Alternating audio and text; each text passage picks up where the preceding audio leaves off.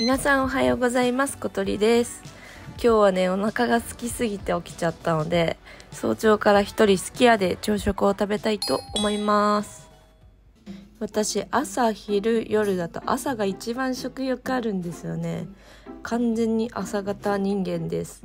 朝どんだけ早く起きても全然苦じゃないけど夜10時過ぎるとねもう眠くなるんでこれって体質なのか遺伝子なのかわかんないんですけど朝型と夜型ってはっきり分かれるよね人って。で今日は世間はもう夏休みということで我が家の夏休み事情についてね話したいと思います。早速ですが皆さん学生の頃は宿題を最初に終わらせるタイプでしたか？それとも最終日にまとめて片付けちゃうタイプ？私はね宿題が配られて次の日から夏休みだっていうその日の夜には終わらせてるせっかちタイプでした。で私双子なんですけどあの双子の片割れはね毎日コツコツやるタイプだったみたいです。それであの宿題の他にねうちには母が作る手作り漢字ドリルみたいなものがあってでそれが毎日の義務みたいになってたんですよ。その日の分を母が仕事から帰る前に解いておいて夜答え合わせをしてもらうみたいな。で点数が良かったらアイスが食べれたような気がしたような。まあなんかそういうシステムだったんですけどだからね私未だに漢字には結構強くて大体ね難しい漢字も噛んでいろいろ読めたりします。まあそんな話は置いておいて。でその漢字ドリルは毎日の義務なんですよね。でそれを双子よりも先に終わらせたいって気持ちが強くて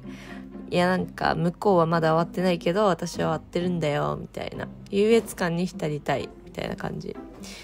でそれでさ双子が解いてる時に「やばいまだやってないめんどくさい」みたいな雰囲気を醸し出しておいて双子が解き終わりそうなタイミングで「もう実は終わってました」っていうっていう、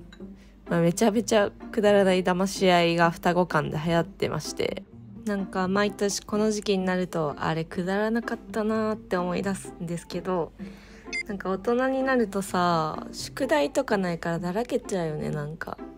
だからまあ私は自分に今日は動画を作るぞみたいなちょっと宿題じゃないけどなんか面白そうな毎日の出来事があったら覚えとこうみたいなタスクを課してみました。私はねだいたい朝の方が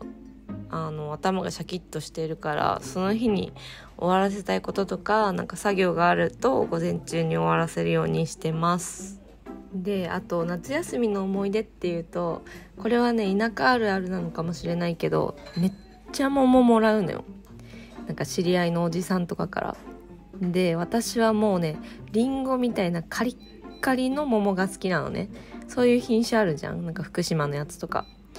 で家族旅行とかで夕食桃丸ごと食べ放題みたいなプランがあるところに泊まりに行くくらい好きなのよ。硬い桃が。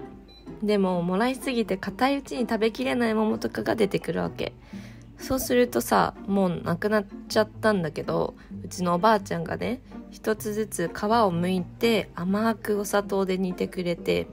桃のコンポート作ってくれたなーって記憶が蘇ってくるんだよね。でそれがさ素朴な味で多分桃とお砂糖と色が変わらないようにちょっとレモン汁とかが入ってんのかな。すごいシンプルな材料でさあの夏の町内プールとかから汗だくで家に帰ってきてクーラーガンガンの部屋の中でそれを食べるのが小学生の私にとっていや至福の時間だったなって過ぎた今思うんですよね。こう現在無職で一人家にいるとさ実家ってあったかかったなーって気づけば大人になっててなんか誰も私を守ってくれる人なんていないんだ。もう一人で孤独死すればいいんだって。なんかお母さん公文みたいになってしまいましたが。なんか過ぎてから気づく大切なものが多すぎるよなって思う今日この頃です。皆さんは大切にしたいものを大切にできてますか？私はねこう大切なものを失ってから気づかないようにね。あの会いたい人には会いたいとたくさん言うようにしてます。何の話って話ですけど。いやーだってさおじいちゃんにあと何回会えるかなって考えたら涙でそうなるじゃん。まあ時間はね作るものだからね。たくさん新潟に帰っていつか後悔しないようにしたいなーって思います。皆さんもこの機会に地元に帰ってみてはいかがでしょうか？まああれだね。もうすぐお盆だしね。ということで今日の動画は無駄に早起きをしてしまった私が一人で好き家で朝食を食べるという動画でした。いや久しぶりに牛丼食べたけどやっぱり美味しいね。私はすき家松屋吉野家だったらやっぱりね一番好きやが好きやっていう感じで。